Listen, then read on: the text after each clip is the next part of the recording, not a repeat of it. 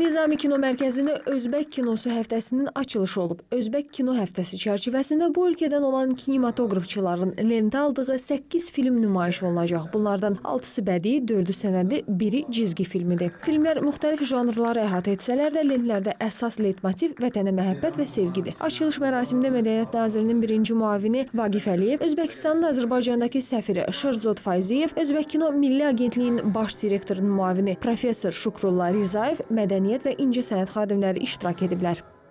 Kino Azərbaycanı.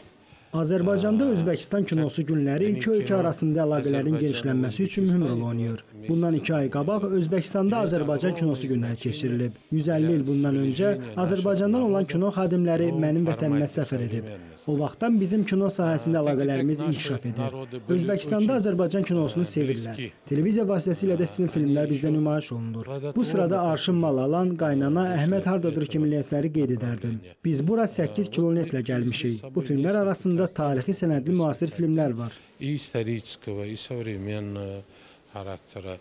Документальные фильмы привезли.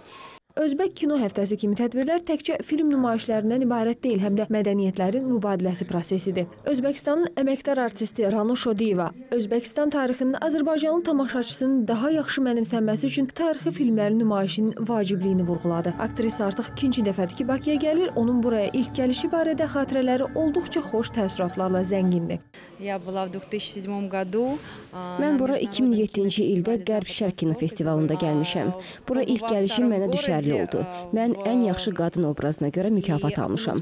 O zamandan Bakı çox dəyişib. İçəri şəhərlə göydələnlərin vəhdət təşkil etməsi məni valeh edir. Azərbaycanın tarixi haqqında məlumat alarkən mən Özbəkistanla Azərbaycan arasında olan oxşarlıqları gördüm. İki ölkənin istər mədəniyyəti, istər mentaliteti, istərsə də tarixi arasında çox bağ var. Zənnimcə bugünkü tədbir vasitəsilə Özbəkistanla Azərbaycan kinosu arasında möhkəm əlaqələr yarada biləcəyik.